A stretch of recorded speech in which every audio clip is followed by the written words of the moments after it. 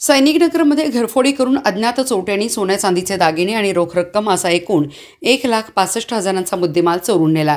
याबाबत प्रकाश धोंडीराम जाधव वयवर्ष एकोणचाळीस यांनी विश्रामबाग पोलीस ठाण्यात तक्रार दिली आहे. त्यानुसार अज्ञातावर गुन्हा दाखल करण्यात आला आहे फिर्यादी यांचे मूळ गाव आंधळी तालुका पलूस आहे. सध्या ते Shivdatt Prerana apartment flat number एकशे दोन विक्रांत एम्पायरजवळ सैनिकनगर सांगली येथे राहतात.